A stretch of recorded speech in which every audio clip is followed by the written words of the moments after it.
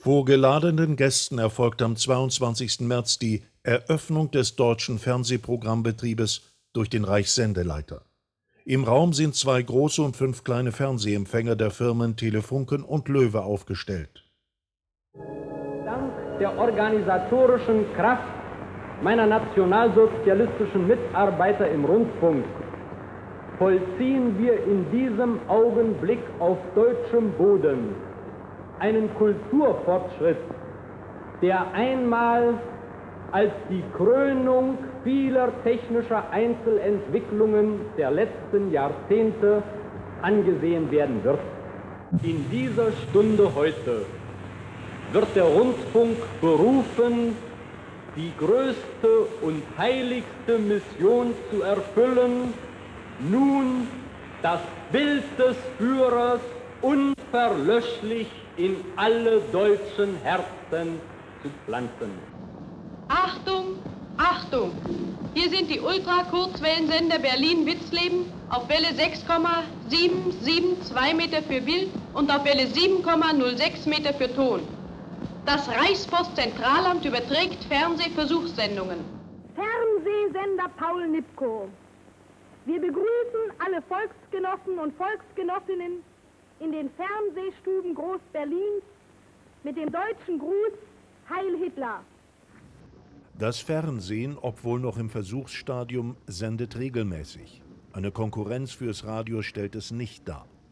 Der Rundfunk ist und bleibt das Propagandainstrument mit der größten Wirkung.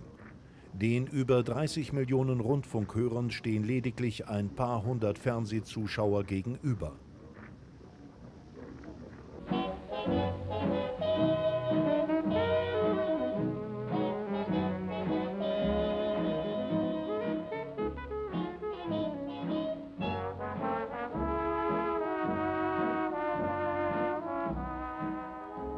Gezeigt wird ein ganz normales Programm.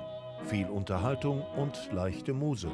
Rezepte für die tüchtige Hausfrau, Sport und Leibesübungen und zwischendurch den einen oder anderen Propagandabericht.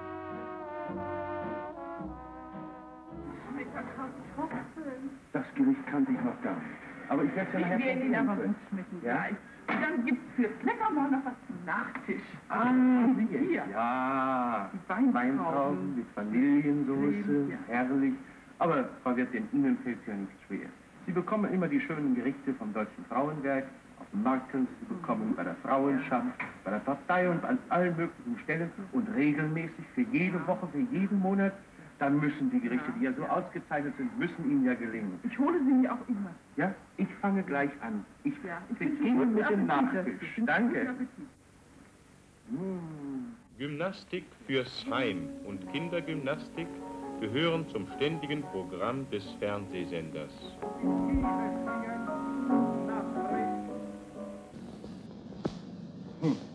Man bloß gut, dass alles Schwindel ist, nicht? Tja, wenn man eine böse Schwiegermama hat, die keinen Spaß versteht und die sieht dann alles, was man tut, gar nicht auszudenken. Wie? Das ist doch ein Trick. Die kleine Dame sitzt doch in den Kassen drin, nicht? Nein, das ist kein Trick. Die Sprecherin sitzt im Fernsehlaboratorium der Reichspost in Witzleben. Sie können sich übrigens selbst davon überzeugen. Werde die Dame gleich mal anrufen. so fein.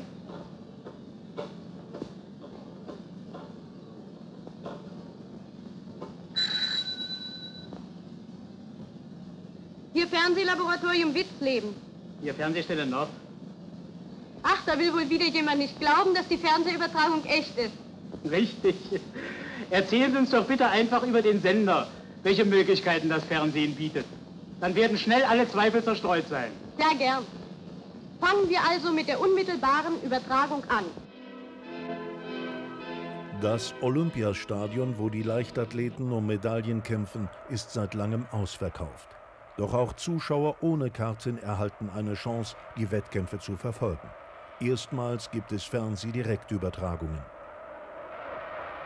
Im Mittelpunkt des Reichssportfeldes liegt das Olympiastadion, das der Schauplatz von vielen heißen Kämpfen sein wird. 100.000 finden im Stadion Platz und den vielen anderen, die keinen Einlass mehr fanden, bietet der Fernsehdienst Gelegenheit, mit Auge und Ohr an dem großartigen sportlichen Schauspiele teilzunehmen. Wie hier im Olympischen Dorf können die Berliner und ihre Gäste in 25 über die ganze Stadt verteilten Fernsehstuben die Sportereignisse miterleben. Und das kostenlos. Das größte Gebäude im Olympischen Dorf ist das Hindenburghaus. Hier können die Sportler ihre Freistunden verleben. Hier ist ein Theatersaal, hier sind Spielsäle, Übungssäle und eine Fernsehstube. Aber um darüber etwas zu erfahren, wenden wir uns an den Soldaten, der hier steht und eine weiße Armbinde trägt. Waren Sie eigentlich einmal drin hier in der Fernsehstube? Ich war schon mal hier drin und es ist immer ein sehr starker Andrang in der Fernsehstube. Auch die ausländischen Sportler? Jawohl, sämtliche internationalen Sportler sehen sich dieses Fernsehen gerne an. Fernsehen als Gemeinschaftserlebnis in der öffentlichen Fernsehstube. Die Übertragungen von den Olympischen Spielen fanden größtes Interesse. Die vom Parteitag ein weit geringeres, klagt die Reichssendeleitung. Die Zeit wird kommen, wo der Fernsehempfänger allgemein gut geworden ist, wo jeder Deutsche teilnehmen kann am Erleben des ganzen Volkes. In Berlin nimmt die erste öffentliche Fernsehsprechstelle ihren Betrieb auf. Sie verbindet die Hauptstadt mit der Messestadt Leipzig. Es sind schon Ferngespräche möglich, bei denen sich beide Partner gegenseitig sehen können. Für das Publikum eine ganz einfache Sache. Beide Partner gehen in eine Gegensehzelle.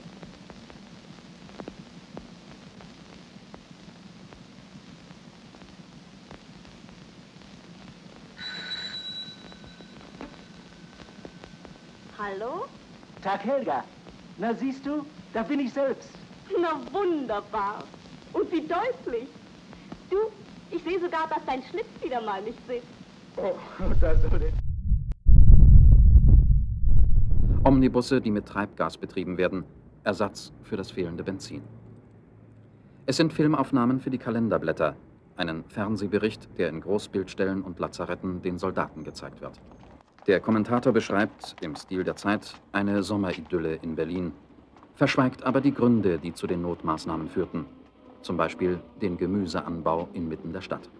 Großstadtverkehr Juli 1943 in der Reichshauptstadt am Alexanderplatz.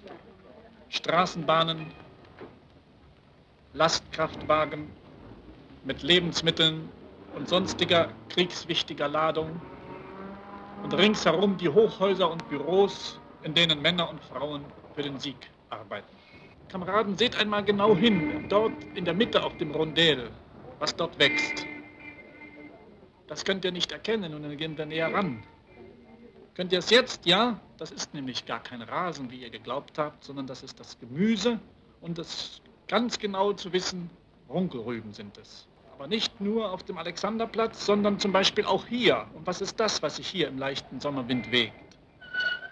Die Landwirte unter euch werden es vielleicht wissen. Raps ist es. Und dahinter erhebt sich die Kirche auf dem Blücherplatz. Ausführlich werden Filmaufnahmen vor dem Haus des Rundfunks beschrieben, denn Berlin spielt bis zum Kriegsende als Filmstadt eine führende Rolle. Volker von Kollande probt eine Szene mit Irene von Meyendorf und Kurt Jürgens. Äh, Herr Jürgens spielt einen jungen Komponisten, der einen Tag Urlaub von der Front bekommen hat und hier im Funkhaus äh, eine Komposition zu dirigieren hat. Und da hat er nun in der U-Bahn auf dem Weg hierher seine Aktentasche liegen. Ausgerechnet. Und was haben Sie damit zu tun? Ich trage ihm die Aktentasche nach.